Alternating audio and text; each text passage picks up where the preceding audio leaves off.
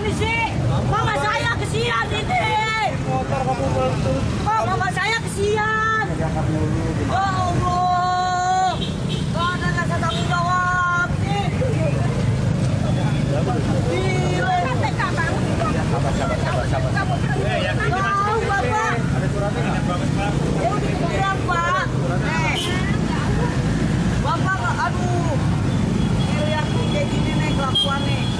Sang pengendara ternyata tidak memiliki surat izin mengemudi.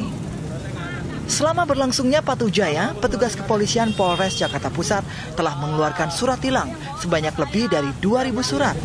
Saya udah kasih, Pak. Ini yang ketilang kakak saya. Di rumah. Mana? Oh. ada suratnya. Lah, Nizar Ramadika, Jakarta, Kompas TV.